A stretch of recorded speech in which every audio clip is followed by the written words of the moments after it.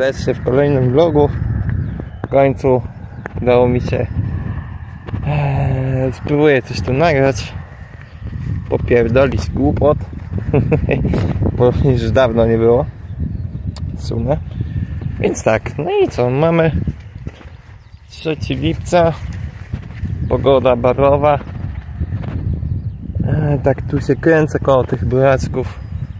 Sprawdzam czy coś będzie można rwać. Zbierać, ale niby niby coś tam pod koniec chyba mm, pod koniec tygodnia spróbuję wjechać.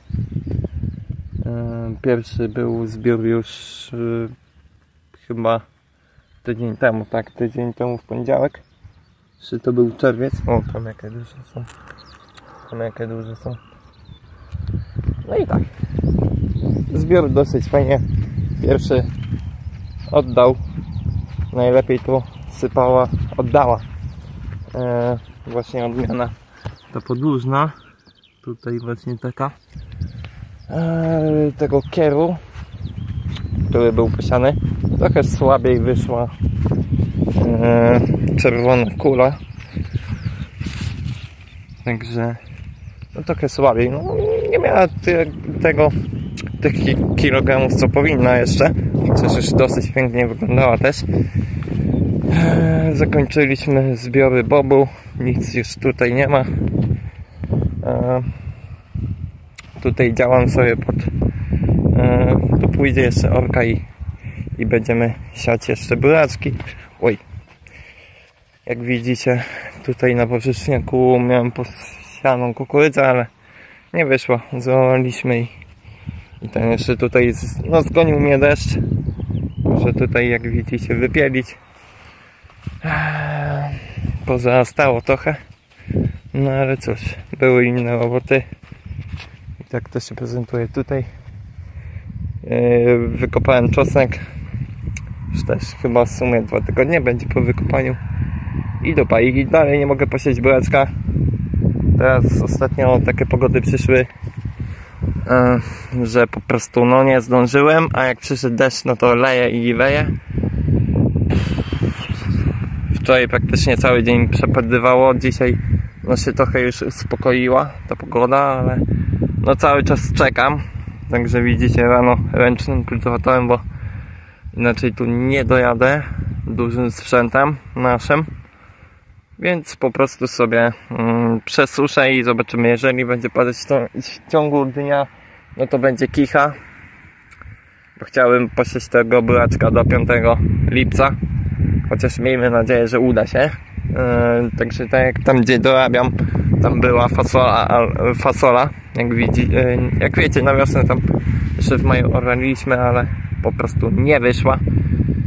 I co, no niestety trzeba to zaorać jeszcze raz i jest plan, żeby posieć tam buraczka. E, buraczki po marchwi też pięknie wzeszły. Troszeczkę tutaj chwasty je przyhamowały, ale mniej więcej wiem jak już idą z rzędy. Także no niech będziemy tu wyrywać te chwasty. No. Tu jest, tu jest jeden rząd, tak on idzie. Tu drugi już tak miarę widać. Tego buraczka, no i trzeci obok tego. O, cebula ładnie, piękna, no dosyć fajny zbiór się zapowiada tej cebuli. Więc, no nie ukrywam, cieszy oko. No i co, pokrótce. No i tutaj jeszcze jest takie jedno wolne miejsce. E, tutaj myślę, żeby posadzić, posiać jeszcze bób na jesienny zbiór. E, trzeba tu zaorać. Tutaj jest miejsce po kalafiorze nieudanym, ale to myślę, że w kolejnych vlogach opowiem co i jak. No i też tutaj kawałeczek taki fajny, także chciałbym to wykorzystać, bo na jesień pójdzie i tak po całości. No myślę, że po ziemniakach pójdzie rzepak na popron, a nareszcie pójdzie e, żyto. Chociaż może jakaś inna dam e, po prostu ży, żyto może z rzepakiem, coś takiego pomieszam. Yy, Nie chcę już, że, że tak powiem, tej, jak wiecie, zeszłym roku tutaj była rzodkiew Olisa, nie chcę już jej, bo no przez nią zabiłem sobie plon, zepsułem tutaj, można powiedzieć, to tu pole, yy, to tu pole, tą połowę, tak, sobie po prostu zepsułem bo nic e, takiego kapuścianego, no nie chcę po prostu rosnąć, jak widzicie, no dosyć to marnie to wygląda. E, podejrzanie jest po prostu coś takiego jak omacnica i niestety ona zżarła plon. No zobaczcie. No nie da się, no po prostu no trudno. Trzeba siać rzepak y, żytem i tyle w temacie. Dobra, ja kończę tego vloga. Także trzymajcie się. Do następnego. Taka aktualizacja co u nas.